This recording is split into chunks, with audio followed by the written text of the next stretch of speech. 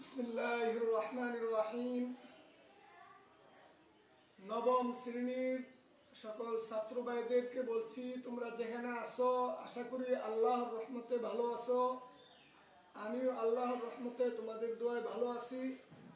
আমরা প্রতিদিন এই অনলাইনের ক্লাস রীতিমতো চলছে, আজকেও চলবে। আজকে নবম শ্রেণির ইসলামিয়াত বিষয় হাদিস আজকে ব্যবসায়ী সম্পর্কে একটি হাদিস এর অনুবাদ ও ব্যাখ্যা করবো ইনশাআল্লাহ তোমরা যেখানে আসো বই খুলে ধরো এবং এই পড়াটা সুন্দরভাবে মুখস্থ করবা এবং এই হাদিসের শিক্ষা নিজের মধ্যে আমল করবা ব্যবসায় সততা قال رسول الله صلى الله عليه وسلم আত্তাজিরুল আমিনু সুদুকুল মুসলিম মা শুহাদাই ইয়াউমাল কিয়ামা। রাওয়াহু ইবনে মাজাহ ব্যবসায়ে সততা সম্পর্কে আমাদের প্রিয় নবী মোহাম্মদ সাল্লাহ আলিহি ওয়াসাল্লাম বর্ণনা করেছেন আত্মাজিউ ব্যবসায়ী আল আমিন বিশ্বস্ত আর সত্য।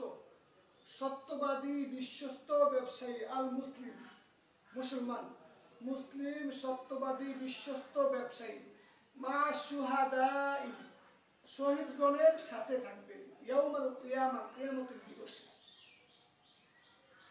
অর্থাৎ এটা ইবনে মাজাহ শরীফের মধ্যে হাদিসটা আছে, সত্যবাদী মুসলিম সত্যবাদী বিশ্বস্ত ব্যবসায়ী কেয়ামতের দিন শহীদগণের সাথে থাকবে ব্যবসার মধ্যে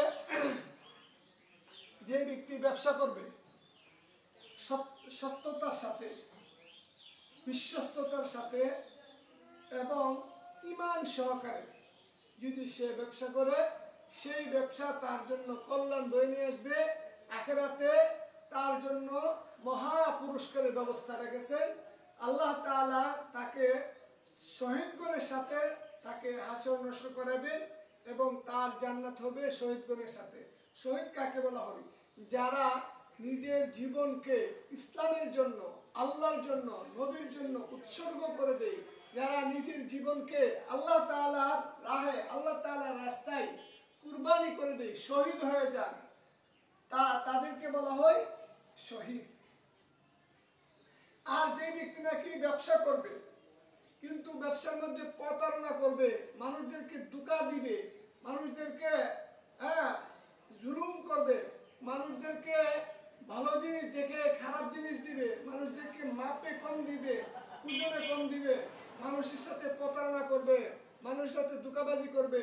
সে এই মহা পুরস্কার থেকে বঞ্চিত হবে। সুতরাং এই হাদিস থেকে আমরা বলতে পারি যে যে ব্যক্তি নাকি ব্যবসা করবে, ব্যবসা একটি ভালো কাজ, ব্যবসা একটি পুণ্যময় কাজ, যদি ব্যবসাটা ইসলামের নিয়ম নীতি অনুযায়ী হয় ব্যবসা যদি ইসলামের নিয়ম নীতি অনুযায়ী হয়, তাহলে এই ব্যবসায়ী তাকে জান্নাতে নেওয়ার জন্য একটা উচিত হয়ে দাঁড়াবে। আর যদি ব্যবসা যদি অন্যায় পথে হয়, ব্যবসার মধ্যে যদি ধোকা থাকে, ব্যবসার মধ্যে প্রতারণা থাকে, ব্যবসার মধ্যে হারাম মিশ্রণ থাকে, এই ব্যবসা তাকে জাহান্নামের দিকে নিয়ে যাওয়ার জন্য একটা মাধ্যম হবে। এই হাদিস থেকে আমরা এই কথা বুঝতে পারি যে ব্যবসা একটি ভালো কাজ। ব্যবসা এই রসুল সাল্লাহ আলাইসাল্লাম ব্যবসা সম্পর্কে উদ্বুদ্ধ করেছেন। শর্ত হইল সত্যতা এবং বিশ্বস্ততার সাথে ব্যবসা করতে হবে। এই হাদিসটুকু আমরা পড়লাম। এই হাদিস, এই হাদিসের অনুযায়ী আমরা আমাদের জীবন পরিচালনা করার জন্য আমরা নিজেদেরকে প্রস্তুত করে নিব। ইনশাআল্লাহ আল্লাহ পাক রব্বুল আলামিন আমাদেরকে তৌফিক দান করুক। ছাত্র ভাইরা যেখানে আছে, তোমরা এই হাদিসটা মুখস্থ করবা। এই হাদিসের অনুবাদ শিখবা, এই হাদিসের ব্যাখ্যা শিখবা এবং এই হাদিসের শিক্ষণীয় জিনিসগুলো, যেমন ব্যবসা একটি ভালো কাজ, পূর্ণ কাজ, ব্যবসা করা বৈধ এবং ব্যবসা ব্যবসা যে ব্যক্তি করবে তাকে কেয়ামতের দিন যদি ইসলামী শরীয়ত মোতাবেক হয়ে থাকে, এই ব্যবসা তাকে জান্নাতে নিয়ে যাবে এবং ব্যবসার সর্বশেষ, শেষ পুরস্কার হলো তার জান্নাতের ঠিকানা হবে শহীদগণের সাথে। আল্লাহ ফকরাবুল্লাহ আলম আমাদেরকে হাদিসটুকু পরে দিনের হ্যাঁ সহিবুজ দান করে এবং সমাজের মধ্যে প্রত্যেকটি সমাজের হ্যাঁ ব্যবসা বাণিজ্যের ক্ষেত্রে আমরা যদি এই হাদিসটু প্রয়োগ করতে পারি, আল্লাহ পাক রব্বুল তৌফিক দান করুন আসসালামু আলাইকুম রাহমাতুল্লাহি